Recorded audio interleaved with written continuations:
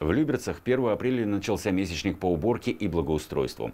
Машины и средства малой механизации к осенне-летнему сезону подготовлены. Какая техника уже вышла на улицы городского округа, узнали мои коллеги.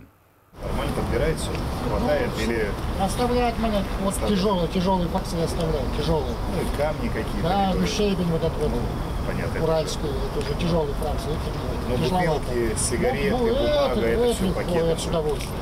Традиционно месячник благоустройства начинается с осмотра коммунальной техники. Специалисты коммунальных служб подготовили более 250 единиц спецтехники. Поливомоечные, подметально-уборочные и аварийно-ремонтные машины, автогидроподъемники, самосвалы и дорожно-строительная техника. К работе все готово. Конечно же, огромное количество у нас также э, мобильных средств. Это пилы, это косы, это всевозможные резаки, резаки для пеньков, потому что много заявок от наших жителей, деревья удаляются, пеньки остаются во дворах, они тоже должны быть удалены. Месяц пройдет очень активно, конечно же, работы предстоит очень много. Самое главное, что люди, коллектив настроен на то, чтобы дать хороший результат. Свой арсенал продемонстрировали все предприятия, которые зимой и летом содержат город в чистоте. Владимир Королев работает в объединенном комбинате благоустройства 6 лет.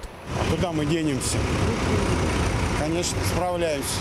Если мы справлялись, не работали бы. Это керхер. Мыть тротуары, фонтаны.